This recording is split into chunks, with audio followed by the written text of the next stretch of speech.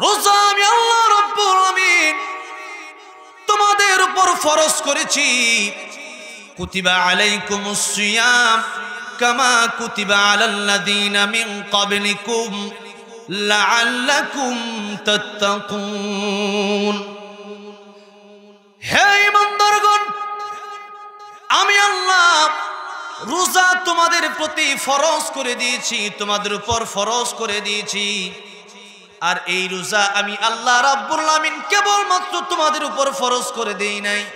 আমি আল্লাহ রাব্বুল আমিন তোমার পূর্ববর্তী যারা এসেছিলেন, সবাইকেই আমি আল্লাহ রাব্বুল আমিন রোজা দিয়েছিলাম। কিন্তু আল্লাহ রাব্বুল আমিন আমাদেরকে রোজা দিলেন তিরিশটা অথবা উনত্রিশটা এক মাসের রোজা দিলেন। আগের উম্মতদেরকে আল্লাহ রাব্বুল আমিন রোজা দিয়েছিলেন। ছয়টা, দশটা, আটটা, বারোটা এরকম করে রোজা দিয়েছিলেন। আর আল্লাহ রাব্বুল আমিন আমাদেরকে রোজা দিয়েছেন পূর্ণ এক মাস।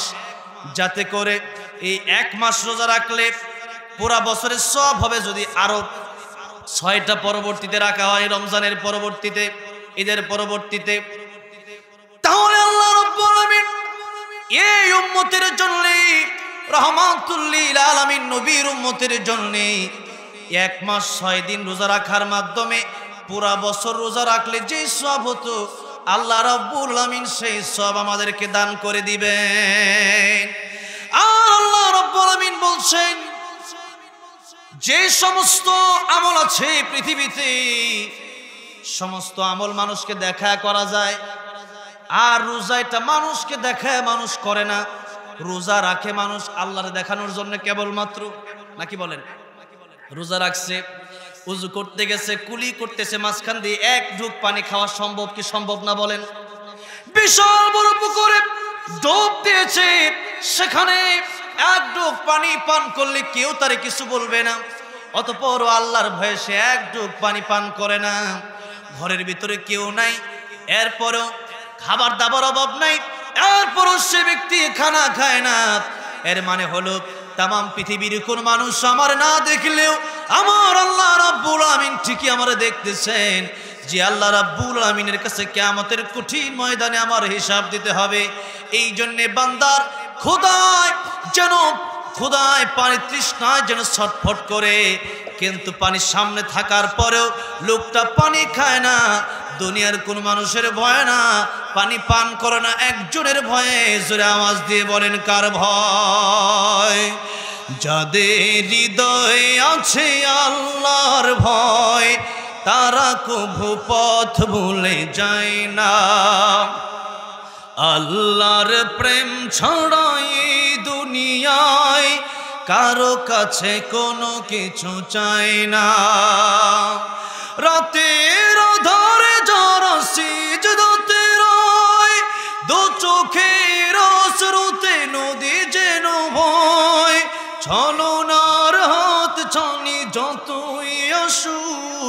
পেছনে ফিরেও তাকায় না।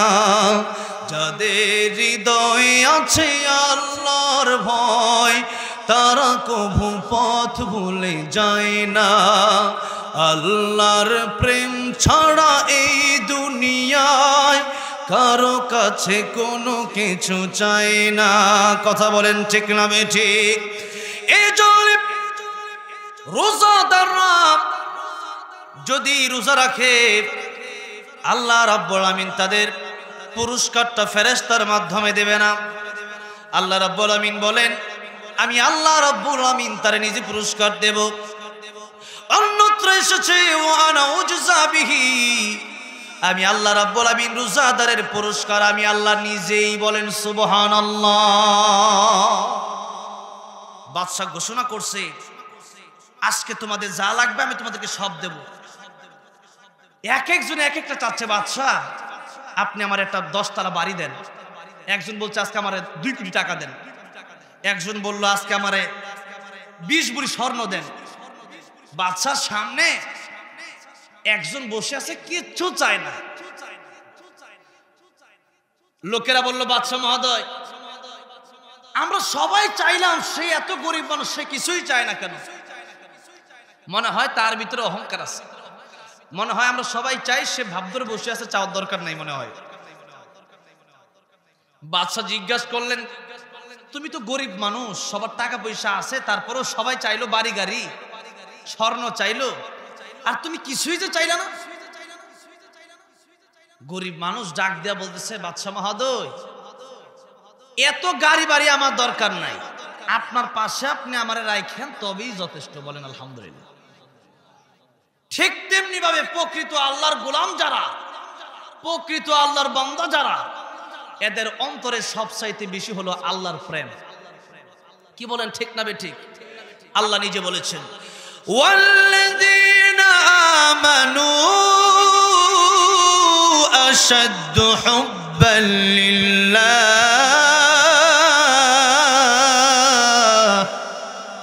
আল্লাহ বললেন ইমানদারের অন্তরে আমি আল্লাহর প্রেম সবচাইতে বেশি। কার প্রেম বেশি জোরে বলেন? আল্লাহর প্রেম সবচাইতে বেশি। এই জন্য ইব্রাহিম আলী ইসলামকে যখন আগুনের ভিতরে ফেলা হবে জিবরাল আলী সাল্লাম আসলেন, বলেন, ইব্রাহিম, তুমি আমার কাছে বলো, তোমার আগুন নিবাই দেই। পয়গম্বর ইব্রাহিম ডাক দিয়ে বলতেছেন, জিবরাইল, আমি তো সেই অন্ধ আল্লাহর ইবাদত করি না জি আল্লাহ রব্বুল আলামিন আমারে দেখে না।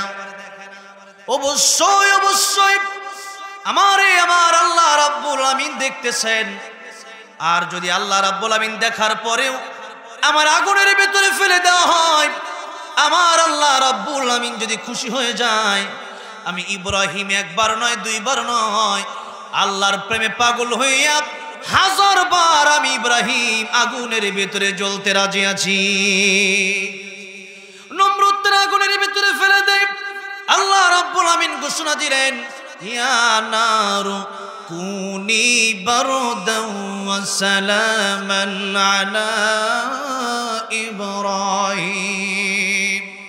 হে আগুন আমার ইব্রাহিমের জন্য তুমি আরামদায়ক হয়ে যাও। ইব্রাহিম আলাইসাল্লামকে ফেলে দেওয়ার পরে নমরুদ তাকায় দেখতেছে, আগুনের ভিতরে ইব্রাহিম আলাইসাল্লাম পড়ে যায় না। নমরুদ ডেকে বলল, আগুনের তোর ভেতরে কি জ্বালানো পুরানোর ক্ষমতা বন্ধ হয়ে গেছে নাকি? আগুন ডাক দিয়া বলল, নমরুদ রে। আগুনের জবান আল্লাহ খুলে দিয়েছে। আগুন ডাক দিয়া বলল, নমরুদ রে, তুই পারলে আমি আগুনের মধ্যে আয়। তাম পৃথিবীর সব কিছু আমি আগুন জ্বালাই দিতে পারি। তথাপি আমি ইব্রাহিমের একটা পশমও জ্বালাইতে পারি না। ইব্রাহিম আলাইসালামের অন্তরে কার প্রেম ছিল? আল্লাহর প্রেম ছিল। এই জন্যে আগুন পর্যন্ত তার একটা পশম জ্বালাইতে পারে নাই। সেই ইমান যদি, সেই প্রেম যদি আজও যদি আমাদের অন্তরে থাকে, আজও আমাদেরকেও আগুনে জ্বালাতে পারবে। সেই প্রেম থাকলে পরে দুনিয়ার আগুনে জ্বালাতে পারবে না, আখরাতেও আগুনে জ্বালাতে পারবে না। এই জন্যে আল্লাহ রাব্বুল আলমিন বললেন, তোমাদের অন্তরে, যারা ইমানদার তাদের অন্তরে সবচেয়ে বেশি ভালোবাসা কার জন্য বলেন? এখন আল্লাহ বললেন, তোমাদের উপর রোজা ফরজ করেছি ফরজ করেছি। এগারো মাস খাবার দিলেন কে জুড়ে বলেন? এগারো মাস খাওয়াইলেন কে? এই বারো মাস, বারো নম্বর মাস হচ্ছে রমজান মাস। আল্লাহ চান, বান্দারে, আমি দেখতে চাই, সারা বছর রাইতেও খাইলা, দিনেও খাইলা, চব্বিশ ঘণ্টা খাইলা। এখন আমি আল্লাহ দেখতে চাই, দিনের বেলা একটু না খায়া থাকো। এমন না যে রমজান মাস আসলে এমন হয় খাবার কম, বরং রমজান মাস আসলে পরে খাবার আরও বেশি খাওয়া হয়। এত খাবারের আইটেম রমজান মাস ছাড়া কোথাও খাওয়া হয় না। রমজান মাস আসলে পরে। দেখা যায়, যেই ব্যক্তিটা আল্লাহকে ভালোবাসে, ওই ব্যক্তির জন্য নবী বলেন, তার জন্য দুইটা খুশি। কয়টা খুশি? দুইটা খুশি। একটা খুশি হলো, সে যখন ইফতার করে দুনিয়াতে এই দুইটা খুশি, আখেরাতে তো আছেই আল্লাহর প্রেম।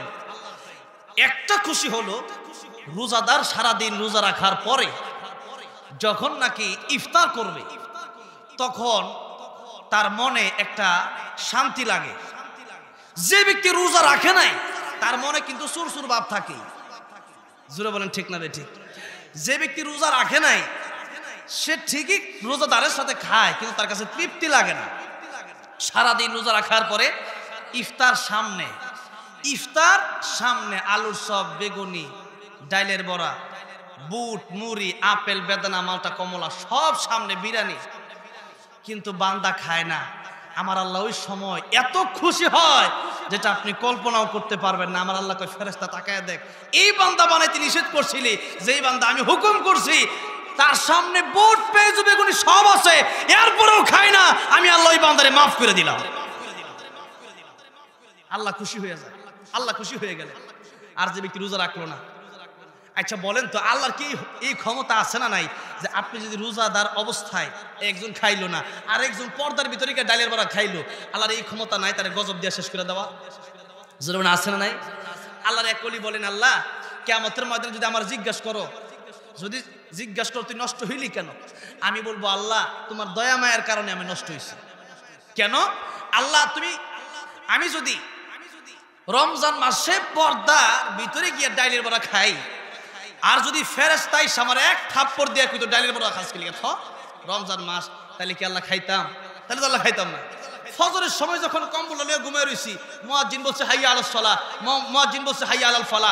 নামাজের দিকে আসো কল্যাণের দিকে সে তো মোয়াজ্জিন বলে নাই, বলছে কে? বলছে কে? আল্লাহ বলছে, মুয়াজ্জিনের কণ্ঠ দিয়ে বলাইছে আল্লাহ। ডাক্তার তো আল্লাহর পক্ষ থেকে আজান আসছে। ডাক্তার আল্লাহ নিজে দিতেছেন, কিন্তু মুয়াজ্জিনের কণ্ঠ দিয়ে দেওয়াইতেছেন ডাক্তার এখন এরপরও আল্লাহ ডাকে সারা না দিয়া আপনি এখন ঘুম থেকে নামাজ বালককে যখন ঘুমায় রয়েছেন আল্লাহ তখন যদি ফেরেস তাই কম্বলে নিষেধ আগুন ধরাই দিত, তখন অবস্থাটা কি হইতো? গরম কম্বলের দরকার, এমন গরমই দিব যে আর আর দরকার নাই, দরকার হবে না জীবনে গরমের। এরকম যদি হইতো, আল্লাহ তাহলে তো কোনো গুণা করতাম না। কিন্তু বাবাজিরা পরীক্ষার হলের ভিতরে কোন হুজুর কি, কোন স্যার কি গিয়া বলে যে এই যে, এই এই যে পৃষ্ঠা, এই তুমি লিখতেছ, এই লেখাটা ভুল হইতাছে, এই লেখাটা ঠিক হচ্ছে বা কলম বা মায়ের দেয়, এরকম কি হয়েছে কখনো? পরীক্ষার হলের ভিতরে কিন্তু হুজুর কিছু বলবে না। আপনি এক পৃষ্ঠা নিছেন, দুই পৃষ্ঠা কেউ যত পারস লেখ। ওটার ভিতরে সব লেখা আসতেছে। এরপরে কেউ কিছু বলে না, হুজুর কিছুই বলে না। কল লেখ, ভালো কিনা লেখ। হুজুর দেখতেছে, ভুল লিখতেছে। সার দেখতেছে, ভুল লিখতেছে। এরপরেও কিছু বলে না, হুজুর খালি হাসে। কিছু বলে না। কারণ সময় একদিন আসবে, যেদিন কিছু বলা লাগবে না, নিজেই টের পাবে, জোরে বলেন ঠিক না ঠিক। ঠিক তেমনিভাবে আল্লাহ রাব্বুল আলামিন বলেন, আল্লাযী খালাকাল মাউতা ওয়াল হায়াতা লিয়াবলুয়াকুম আইয়ুকুম আহসানু আমালা। আমি আল্লাহ, মৌত সৃষ্টি করলাম হায়াত সৃষ্টি করলাম, বান্দারে। আমি আল্লাহ মৌতার হায়াত সৃষ্টি করার মানে হলো, আমি আল্লাহ রাব্বুল আমিন তোমাদেরকে পরীক্ষা করতে চাই। কি করতে চান আল্লাহ তাআলা? পরীক্ষা করতে চান। এই পরীক্ষার হলের ভিতরে আপনি ইচ্ছা করলে হালালও খাইতে পারেন, ইচ্ছা করলে হারামও খাইতে পারেন। ইচ্ছা করলে নামাজ পড়তেও পারেন, ইচ্ছা করলে নামাজ ছেড়েও দিতে পারেন। ইচ্ছা করলে আপনি রোজা রাখতেও পারেন, ইচ্ছা করলে আপনি রোজা নাও রাখতে পারেন, ইচ্ছা করলে হাস করতেও পারেন, ইচ্ছা করলে নাও করতে পারেন, ইচ্ছা করলে জাকাত দিতেও পারেন, ইচ্ছা করলে নাও দিতে পারেন, কিন্তু এই দিন দিন নয় আরও দিন আছে, এই দিন নিয়ে যাবে সেই দিনের কাছে। দিন সব সময় একরকম যায় না, যায়? সব সময় কিন্তু দিন একরকম যায় না। এই জন্য বাবাজিরা এই দিন নিয়ে যাবে সেই দিনের কাছে। অর্থাৎ ফমাইয়ামাল মিসকাল যাররাতিন খায়রান ইয়ারা ওমাইয়ামাল মিসকাল যাররাতিন শাররান ইয়ারা।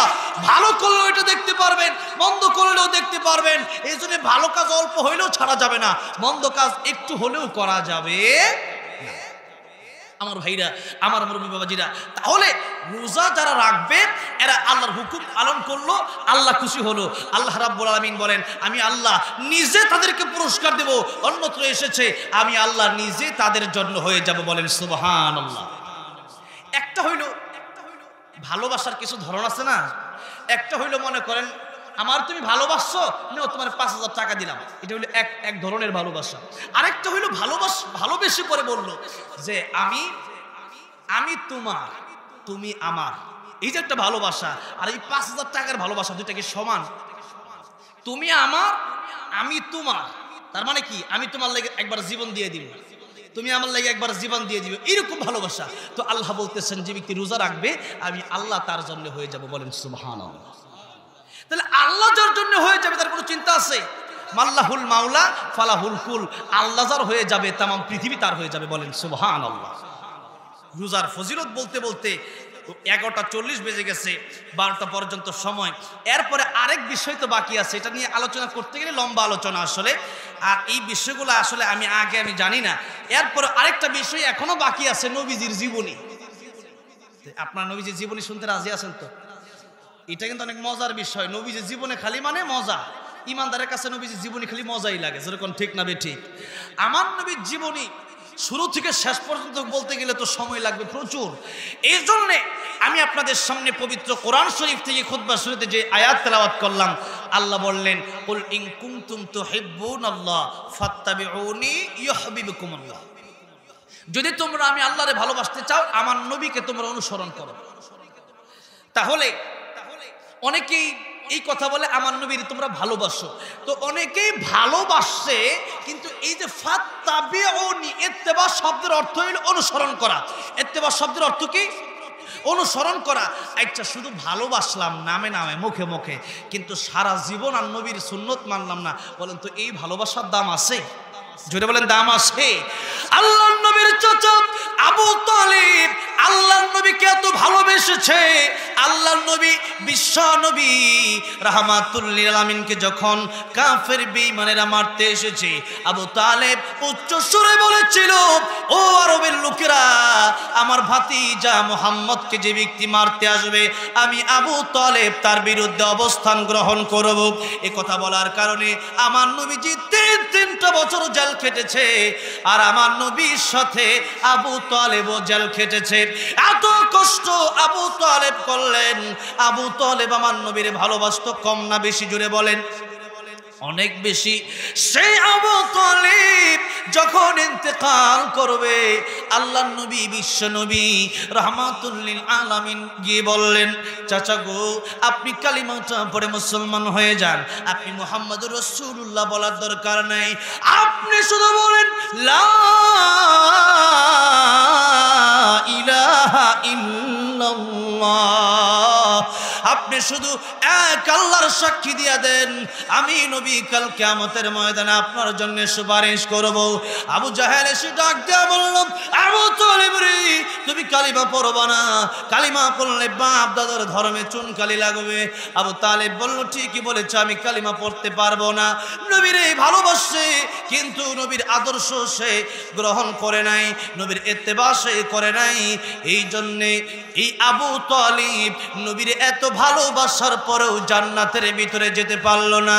আমার ভাইরা আমার মুরব্বী জিরা আজকেও দেখা যায় বাংলাদেশে বারোই রবিউল আউয়াল আসলে পরে অনেকেই মিছিলে নামে, মিছিলে নেমে নবী, বিশ্ব নবী, রহমাতুল্লিল আলামিনের নাম নিয়া ডাক ডুল পিটায়া গান বাজনা কইরা কইরা বিরিয়ানি খায়। কিন্তু মুখের ভিতরে দাড়ি নাই, নামাজ রোজার খবর নাই। আছে না নাই বলেন? এরকম লোক অভাব আছে? এরকম লোক অভাব নাই। আল্লাহ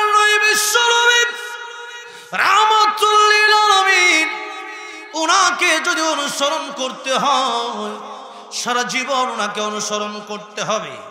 শুধু বারে রবিউল আউ্বাল আসতে গান বাজাইছে, এখানে গান হাদিস, গান হারাম, লাহওয়াল হাদিস। এটার একটা অংশ হইল গান।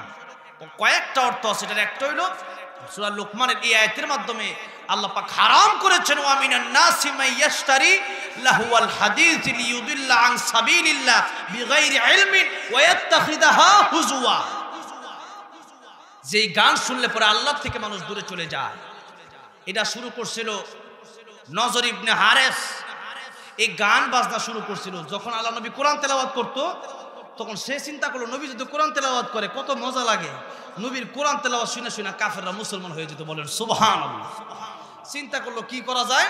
সেও নর্তকী আনছে, গান বাজনা শিল্পী আনছে, এনে এরপরে এগুলোর দিয়ে গান করাইছে। আল্লাহ তখন এই আয়াত নাজিল করলেন, তার মানে স্পষ্ট গান হারাম, সেই হারাম গানকে বৈধতা দেওয়ার জন্য অনেকেই এখন আবার নতুন গান বার করছে। কোন কিতাবে আছে গো লেখা হারাম বাজনা গান? দাউদ নবীর বাসির সুরে জোড়ায় পাখির প্রাণ। দাউদ নবী তেলাওয়াত করতো জাবুর কিতাব। দাউদ নবী বাসি বাজাইতো নি? দাউদ নবী বাসি বাজাইতো? দাউদ নবী তেলাওয়াত করতো জাবুর কিতাবের তেলাওয়াত। আর আল্লাহর জান্নাতে দাউদ আলাইহিস সালাম সূরা তোহা থেকে জান্নাতি মানুষদেরকে কোরআন তেলাওয়াত করে শোনাবে বলেন, সুবহানাল্লাহ। তো উনি তো বাসের সুর দিতেন না। তারা বলতেছে, দাউদ নবীর ব্যাপারে এত মিথ্যা তো হমত দিতেছে। বলতেছে, দাউদ নবী নাকি বাসির সুর দিত, আর সেই বাসির সুর নাকি পাখি এসে পাগল হয়েছে। নাকি গান গাইছে? নাউজুবিল্লাহ বলেন। যেই গানের মাধ্যমে মানুষ নষ্ট হয়, আউল বাউল কিছু শিল্পী আছে, আগে তো এমপিও ছিল, এখনও তারা মোটামুটি এই বছর মোটামুটি নাই হয়ে গেছে। তো এই যে আউল বাউল কথা বইলা পরে মানুষের ইমানকে হরণ করার চেষ্টা করে, গানের ভিতরে এমন এমন সিরেক ঢোকায়া দিছে, আজকে মানুষ গান শুনতেছে কানে কানে, গান বলতেছে এক বেটা দেখলাম সেদিন বলল, আমি কেন মরি না আজরাইল কি চিনে না? আমি কেন মরি না আজরাইল কি চিনে না, আজরাইলকে দেখে না? আমি হয়তো কয়দিন পরে মরতাম, আগে মরলে ক্ষতি কি? এইরকম ভণ্ডামি, গান যারা বলতেছে, আপনার কেউ চিন্তা করছেন? বলতেছে, আমি কেন মরি না? দেখেন আজল তারা দেখে না। সে ভাবছে, মরলেই মনে হয় শেষ। অনেকে আত্মহত্যা করার জন্য সিদ্ধান্ত নেয়। যুবক ভাইরা, আত্মহত্যা যারা করবে নবীজি তাদের ব্যাপারে বলেছেন, কেয়ামতের কঠিন ময়দানে আল্লাহ রাব্বুল আমিন তাদেরকে শাস্তিটা কি দেবেন? ভালো করে শুনে নেন। যাদের, যারা ছুরি দিয়ে গলার ভিতরে আঘাত করে মরবে কাল কেয়ামতের ময়দানে এই ছুরি আল্লাহ পাক তাদের হাতে ধরায় দিবেন। রোবটের মতো কাজ করবে রোবট। রোবট যেরকম মেশিনের মতো। একবার গলায় আঘাত করবে, মরবে, আবার আঘাত করবে, আবার মরবে। যে ব্যক্তি বিষ পান করে পান করে মরবে, আল্লাহ তার হাতে বিষ দিয়ে দেবেন, বিষ পান করবে, মরবে। যে ব্যক্তি ফাঁসি দেওয়া মরবে, সে ব্যক্তি ফাঁসি আল্লাহ পাক থেকে ফাঁসির দড়ি ঝুলাই দিবেন। সে ব্যক্তি বারবার ফাঁসি দিবে, বারবার মরবে। এই জন্য আত্মহত্যা করে মরলেন মনে নিজের হাতে আপনি নিজেকে জাহান নামের ভিতরে ঠেলে দিলেন। অনেকে একটু কিছু হয়েছে প্রেমে একটু সমস্যা হয়েছে আত্মহত্যা করার জন্য দৌড় দিচ্ছেন। নাউজুবিল্লাহ মিন যালিক। জন্ম হওয়ার সময় তো এই কথা বলতে পারেন নাই। আমার জন্ম উনিশশো আশি সালে, আমি উনিশশো সত্তর সালে চলে যাই। এই কথা কেউ বলতে পারছে? এই কথা কেউ বলতে পারেন নাই। তাহলে মৃত্যুর সময় কেন আপনি নিজের হাত দিয়ে নিজে মৃত্যুবরণ করাই দিয়ে চান? জন্ম দেওয়ার আপনাকে পৃথিবীতে সৃষ্টিও করেছেন আল্লাহ। আবার মরণ দিবেন কে? আল্লাহ রাব্বুল আলামিন। তো সে বলতেছে, আজরাইলকে দেখে না। মরলাম মানে শেষ না। মরলেন মানে দরা খাইলেন। মরলেন মানে কি? দরা খাইলেন। আমার ভাইরা, আমার মুরব্বী ওজিরাম শুধু এই গান নয়, বহু মাজারে বহু গান চলে। এই গানের ভিতরে সিরিকি কথাবার্তা ভাবনাই আব্দুল কাদের জিলানি রহমতুল্লাহ আলাইকে আল্লাহর উপরে তারা স্থান দিতে চায়, নাউজুবিল্লাহ বলেন। তারা বলে, আই বড় পীর আব্দুল কাদের জিলানি জিলানি, যার নামের গুণে আগুন হইয়া যায়, পানি জোরে কন্যাউজুবিল্লাহ আব্দুল কাদের জিলানি নাম শুনে নামের গুণে যদি আগুন, পানি হয়ে যায়, তা আল্লাহর নামে কি হবে? আল্লাহর নামে তবে হবে কি? এইরকম সিরিকি গান। এরপরে দয়াল বাবা, কেবলা, কাবা আইনার কারিগর আইনা বসাইয়া দে মোর কলবের ভেতর। কলবের মালিক কে? কলবের ভিতরে ইসলাম দেওয়ার, হেদায়েত দেওয়ার মালিক কে? তারা বলতেছে, আইনা বসাই দে মোর কলবের ভিতর। নাউজুবিল্লাহ দালিক। জোরে বলে নাউজুবিল্লাহ! এরপরে মাজারে গিয়ে সেজদা করা হচ্ছে। মাজারে গিয়ে টাকা দেওয়া হচ্ছে, মনে করতেছেন, বাসনা পূরণ হবে, নাউজুবিল্লাহ। মাজারে গিয়ে সেজদা দিলে, মাজারে গিয়ে টাকা পয়সা দিলে আপনি এখানে তো মাজারে বেটা মরা, এই বেটা টাকা দিয়ে কোনো লাভ আছে? জীবিত লোকরে আজকে মানুষ টাকা দেয় না। কত ভিক্ষুক দেশে পড়ে আছে, হাত নাই, পা নাই, এদেরকে টাকা দেয় না, টাকা দেয় সেই মাজারে গিয়ে। মৃত মানুষকে টাকা দিলে লাভ তো জীবিত মানুষকে খাওয়ার লাগে, আপনি বিশটা টাকা দেন। যে মানুষ না খায় মরতেছে, ভালো একটা কম্বল না একটা কম্বল কিনা দেন, লাভ হবে। গরিব আপনার জন্য দোয়া করবে। এই দোয়া আপনি জান্নাতে যেতে পারেন যদি বলেন, ঠিক না ঠিক?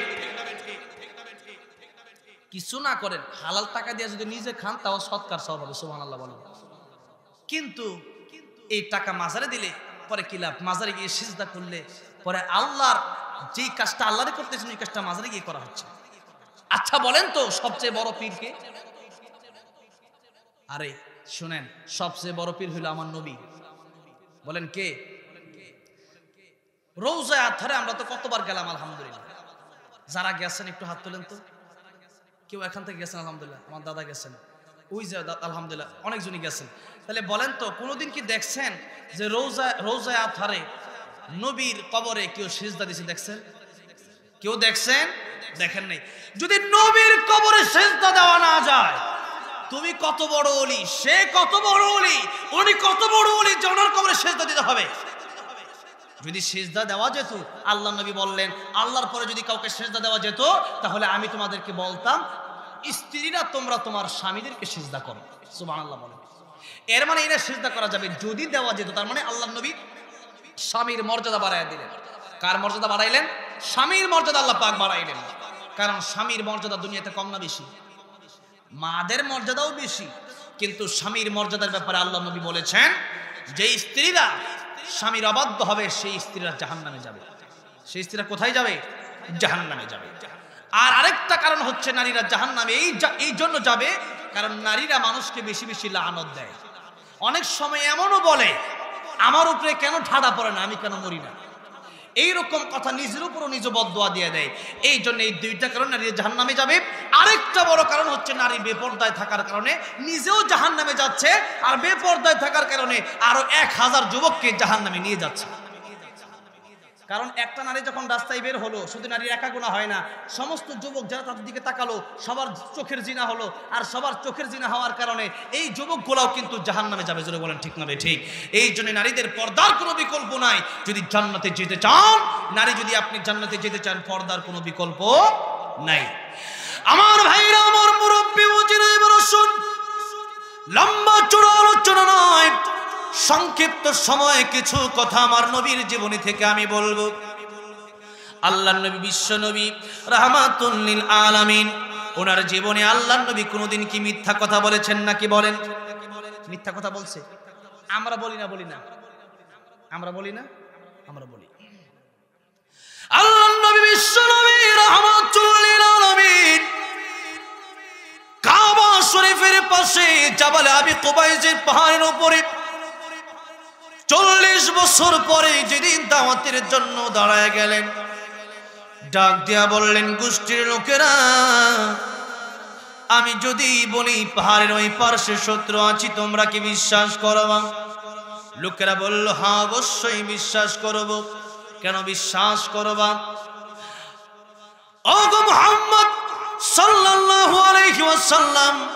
চল্লিশটা বছর তোমাকে দেখেছি।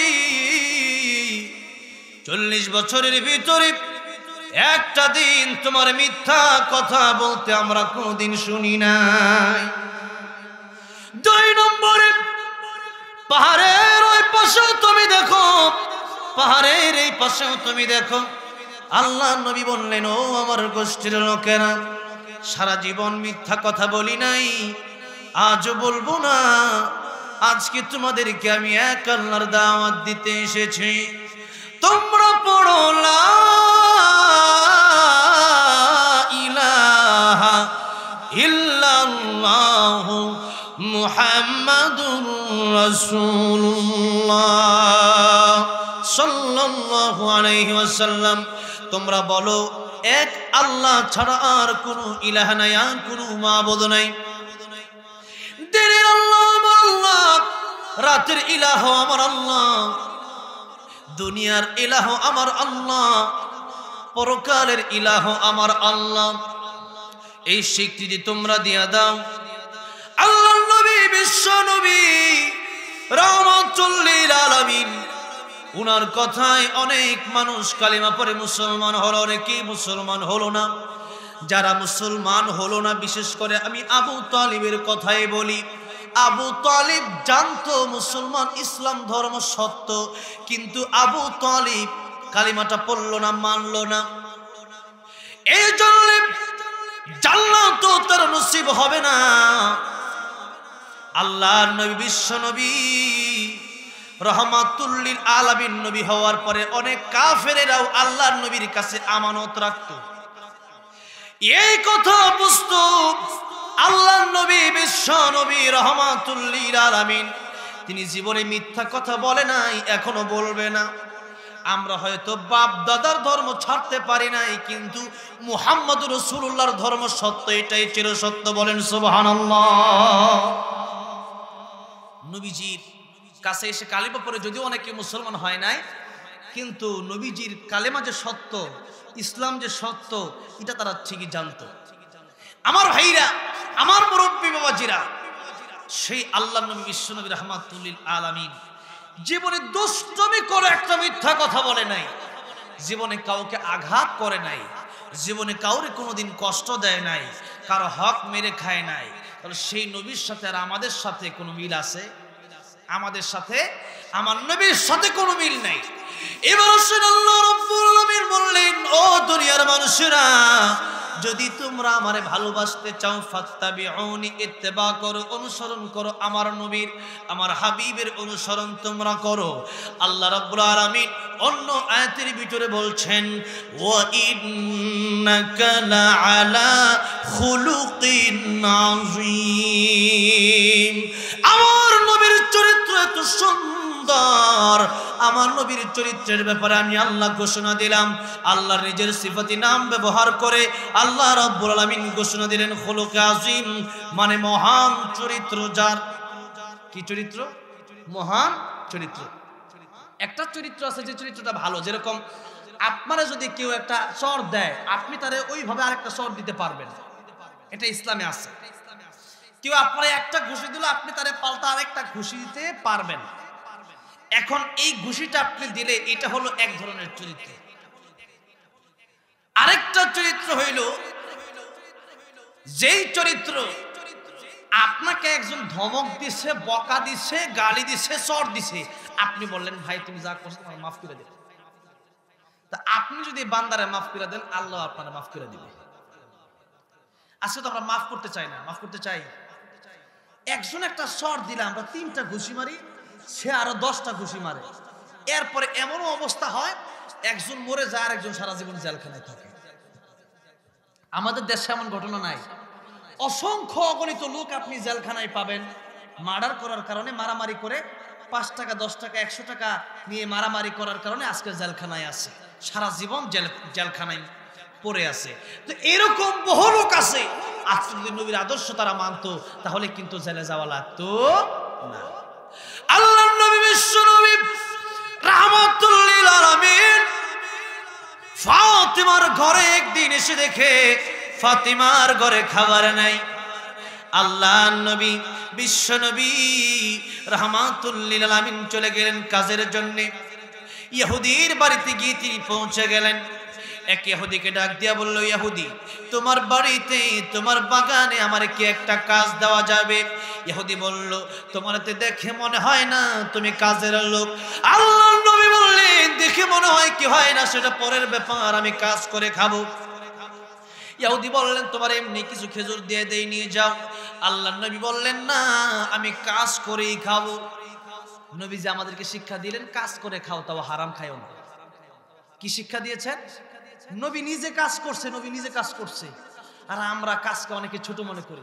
কোন কাজকে ছোট মনে করে দেখা যাবে?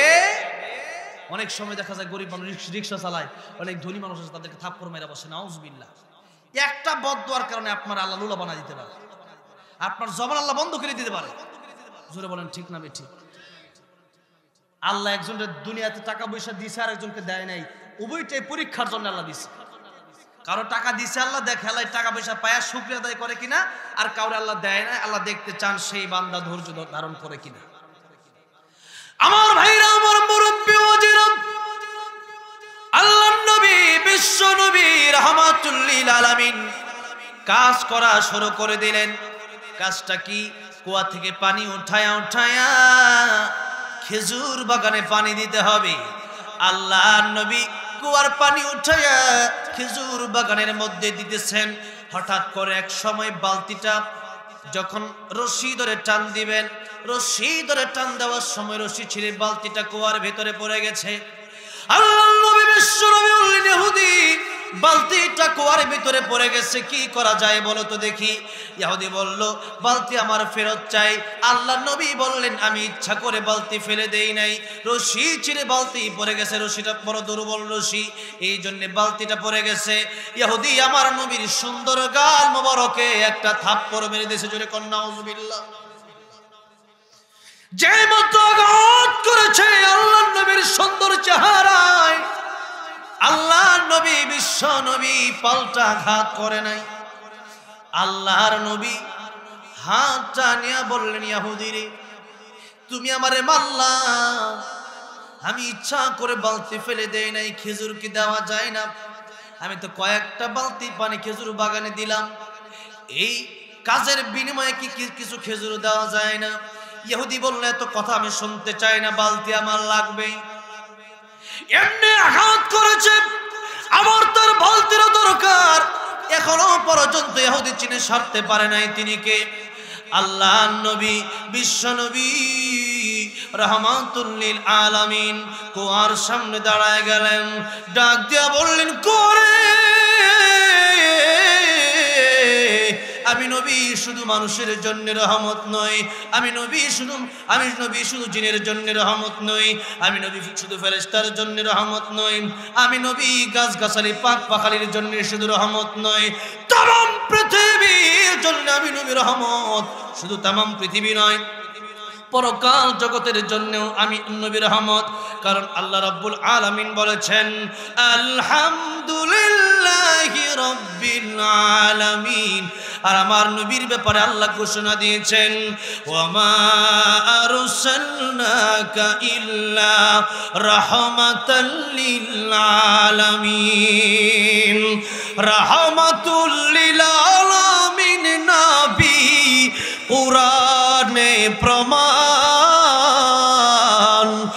আশেক বিনে কে বুঝিবে? আমার দয়ার নবীর শান। ঠিক কিনা বলেন? নবীর প্রেমে গজল গাইতে কষ্ট হবে? সবে একটু মহাব্বতী নবীর প্রেমে বলেন না, আশেক বিনে কে বুঝিবে আমার দয়ার নবীর শান? উম্মত বিনে কে বুঝিবে আমার দয়ার নবীর শান? নবী আমার মদিনারে বলব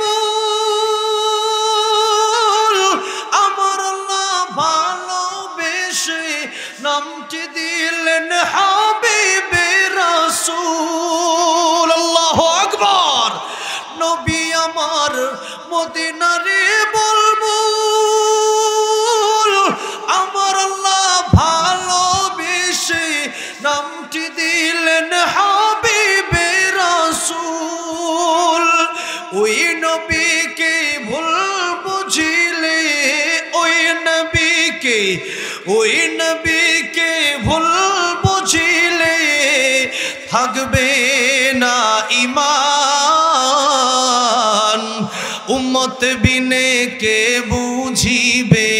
আমার দয়ার নবীর শান। বলেন না উম্মত বিনে কে বুঝিবে? রহমাতুল্লিল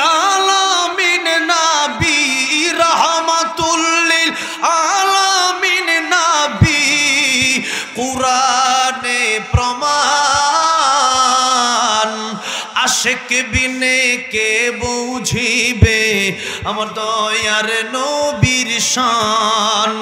উম্মত বিনে কে বুঝিবে? একজন গাইতেছে, বলেন না। উম্মত বিনে কে বুঝিবে? আমার দয়ার নবীর শান। আল্লাহ নবী বিশ্ব নবী রাহমাতুল্লিল আলামিন বললেন, কুয়ারে, আমি শুধু পৃথিবীর জন্য রহমত না তাম পৃথিবী সহ কুল কায়নাতের জন্য আমি নবী রহমত, পরকালের জন্য আমি নবী রহমত। তুই কুয়ার পানির জন্য আমি রহমত। কুয়ারে, তোর ভিতরে জোয়ার বসায় দে। যেই মাত্র বলেছে জোয়ার বসায় দেওয়ার জন্য সাথে সাথে কুয়ার পানি নাড়াচাড়া শুরু করে দিয়েছে আল্লাহ আকবার। কুয়ার পানি থেকে উপরের দিকে চলে আসছে আল্লাহ নবী, বিশ্ব নবীর হাতে। বালতিটা এসে পৌঁছে গেছে। আল্লাহর নবী বালতি ইহুদির হাতে দিয়ে দিলেন। ইহুদি, তোমার বালতি তুমি কি বুঝে পাইছো? ইহুদি বললেন হ্যাঁ বুঝে পেয়েছি।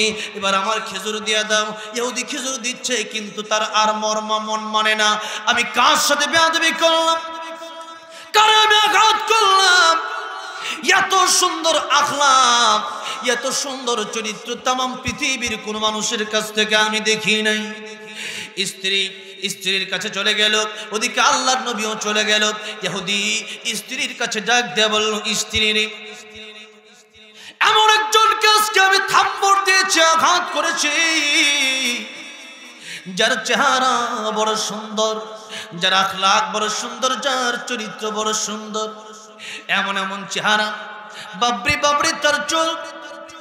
কত সুন্দর তার চেহারা। এমন একজন মানুষের সাথে আজকে দেখা হয়েছিল। আমার বাগানে এসেছিল কাজ করার জন্যে। তারা আমি আঘাত করে ফেলেছি। প্রাণ স্ত্রী, তার ব্যাপারে কি তুমি কিছু জানো? স্ত্রী ডাক দিয়ে বলল, ও প্রাণের স্বামী অবশ্যই তার আমি চিনি তুমি না চিনলেও তিনি তো রহমাতুল্লিল আলামিন সাইয়্যিদুল মুরসালিন খাতামুন নবীন। তিনি তো নবী আখেরি নবী। এবার স্বামী ডেকে বলছে স্ত্রী রে, হাতের মধ্যে একটা তরবারি দাও। যেই হাত দিয়ে আল্লাহর নবীকে আমি আঘাত করেছি ওই হাতটা আমি আর রাখব না। স্ত্রীর কাছ থেকে তরবারি নিয়ে সাথে সাথে ইহুদি হাতটা কেটে ফেলে দিয়েছে। আল্লাহ আকবর। হাতটা কেটে ফেলে দিয়েছে। এই হাতটা আবার ব্যাগের ভিতরে ঢুকাইয়া আল্লাহ নবী, বিশ্ব নবীর কাছে যায় ক্ষমা চাওয়ার জন্য। দরওয়াজার সামনে গিয়ে সালাম দিল। আসসালামু আলাইকা ইয়া রাসূলুল্লাহ। আসসালামু আলাইকা ইয়া হাবিবাল্লাহ। ওগো নবীজি, ঘরে ঢোকার জন্য কি পারমিশন দেওয়া যায়? নবীজি পারমিশন দিয়ে দিলে পরে ঘরের ভিতরে লোকটা ঢুকে যায়। ইয়া রাসূলুল্লাহ, ইয়া হাবিবাল্লাহ, বুঝতে পারি নাই, আমি অত্যন্ত বড় ভুল করে ফেলেছি। আপনি যদি আমার ক্ষমা না করেন, আমি এই দরবার ছাড়ব না। ইয়া রাসূলুল্লাহ, ইয়া হাবিবাল্লাহ, আমারে কি ক্ষমা করা যায় না? আল্লাহ নবী, বিশ্ব নবী বললেন, তুমি এখন ইহুদি, কালিমা পরে যদি মুসলমান হয়ে যেতে পারো, আমি নবীজি তোমার ক্ষমার ঘোষণা দিয়ে দিলাম। ইহুদি বলল, ইয়া রাসূলুল্লাহ, ইয়া হাবিবাল্লাহ আর একটা মুহূর্ত দেরি করতে চাই না। আপনি আমারে পড়ায় দেন, লা ইলাহা ইল্লাল্লাহু মুহাম্মাদুর রাসূলুল্লাহ সাল্লাল্লাহু আলাইহি ওয়াসাল্লাম কালিমা পড়ে ইহুদি মুসলমান হয়ে যায়। ইয়া রাসূলুল্লাহ, ইয়া হাবিবাল্লাহ, আমি তো আপনার সাহাবী, আমার কি হাতটা তো আমি কেটে ফেলে দিয়েছি, এখন কি করা যায়? আল্লাহর নবী বললেন, হাতটা আমি জোড়া লাগানোর মতো আমার কাছে, আমার মুখে তোমার হাত জোড়া লাগানোর মতো মেডিসিন রয়েছে, বলেন সুবহানাল্লাহ। নবীজির লালা মুবারকে ছিল পৃথিবীর শ্রেষ্ঠ মেডিসিন কি ছিল বলেন? জোরে বলেন, কি ছিল? শ্রেষ্ঠ মেডিসিন ছিল, যার কারণে আবু বকর সিদ্দিক আল্লাহ আনহকে নিয়া মক্কাতুল মুকাররমা থেকে আল্লাহর নবী, বিশ্ব নবী, রাহমাতুল লিল আলামিন যেদিন মদিনাতুল মুনাওয়ারায় হিজরতে যাবে, গারে শহরের ভিতরে আল্লাহর নবী আবু বকরের সাথে যখন তাশরিফ নিলেন, আবু বকর সিদ্দিক উরুর উপরে মাথাটা রাইখা বিশ্রাম নিচ্ছিলেন, আরাম ফরমাচ্ছিলেন। এদিকে আবু বকর সিদ্দিক রাদিয়াল্লাহু আনহুর পায়ে সাপে দংশন করল। আবু বকরের চোখ থেকে সাপের ব্যথা, কামড়ের ব্যথায়, যন্ত্রণায় চোখ থেকে বে বে পানি পড়ে। আবু বকর সিদ্দিকের অজন্তে একটা বা দুইটা ফোঁটা নবীর, এক ফোঁটা বা দুই ফোঁটা চোখের পানি নবীজির সুন্দর চেহারা মুবারকে পড়ে গেল। আল্লাহ নবীর ঘুম পেয়ে গেল, ডাক দিয়ে বলল, আবু তোমার চোখে পানি কেন? বাড়ির কথা মনে হয়ে গেছে নাকি? আবু বকর সিদ্দিক রাদিয়াল্লাহু আনহু ডেকে বললেন, ইয়া রাসূলুল্লাহ, ইয়া হাবিবাল্লাহ, আমি বাড়ির কথা আমার কেন মনে হবে? ইয়া রাসূলুল্লাহ, জীবনের যা কিছু আছে, এই তাম দুনিয়াতে যা কিছু আছে, সব চাইতে বেশি আমি আবু বকর, আল্লাহ আল্লাহ রাসূলকে ভালোবাসি। নবীজি বলেছেন, লা ইউমিনু আহাদুকুম হাত্তা আকুনা হাব্বা ইলাইহি মি ওয়ালিদিহি ওয়া ওয়ালাদিহি ওয়ান নাস আজমাইন। পরিপূর্ণ ইমানদার ততক্ষণ পর্যন্ত হতে পারবা না। যতক্ষণ পর্যন্ত তোমরা, আমি নবীকে তোমাদের জীবনের চাইতে বেশি ভালো না বাসবা। তাম পৃথিবীতে যা কিছু আছে, তোমাদের পুত্র, তোমাদের সন্তান, তোমাদের মা, তোমাদের বাবা, তোমাদের স্ত্রী, যা কিছু আছে, সবচেয়ে বেশি কাকে ভালোবাসতে হবে? আল্লাহ আল্লাহর রাসূলকে। জুড়ে বলেন, কাকে ভালোবাসতে হবে? আল্লাহ আল্লাহর রাসূলকে। আবু বকর বলেন, ইয়া সাপে দংশন করেছে এই জন্য আল্লাহর বললেন কান্নার কোনো প্রয়োজন নাই। তোমার কোন জায়গায় সাপে কামড় দিয়েছে? ইয়া রাসূলুল্লাহ, পায়ে সাপে কামড় দিয়েছে। আল্লাহর নবী, বিশ্ব নবী, রহমাতুল্লিল আলামিন লালা মুবারক লাগায় দেওয়ার সাথে সাথে আবু বকরের পা থেকে সাপের বিষ পানি হয়ে যায়। এই জন্য কবি বলেছেন, সাপের বিষ পানি হলো লালাতে তোমার, সাপের বিষ পানি হলো লালাতে তোমার। আবু বকর সুস্থ হলো, মুজিজা তোমার। তুমি পিয়ারা খোদার, তুমি হাবিব আল্লাহর। দ্বিখণ্ডিত চাঁদ হলো ইশারায় তোমার, দ্বিখণ্ডিত চাঁদ হলো ইশারায় তোমার। কাফের, মুশরিক, মুসলিম হলো মজেজা তোমার। তুমি পিয়ারা, খোদার, তুমি হাবিব আল্লাহর। আল্লাহ নবী, বিশ্ব নবী, রহমাতুল্লিল আলামিন। এবার তো আগের ইহুদি এখন তো আল্লাহর নবীর সাহাবী হয়ে গেল। আল্লাহর নবী সাহাবীর কাটা হাতটা নিলেন, কাটা হাতটা নিয়ে এবার সুপার গ্লো দিয়া যেমন প্লাস্টিক জোড়া লাগায়, আল্লাহর নবীও এরকম ভাবে নবীজির লালা মোবারক দিয়ে তারা হাত জোড়া লাগায়। আগে যেমন হাত ছিল, তার চাইতে আরও বেশি শক্তিশালী হাত আবার জোড়া লেগে গেল বলেন সুবহান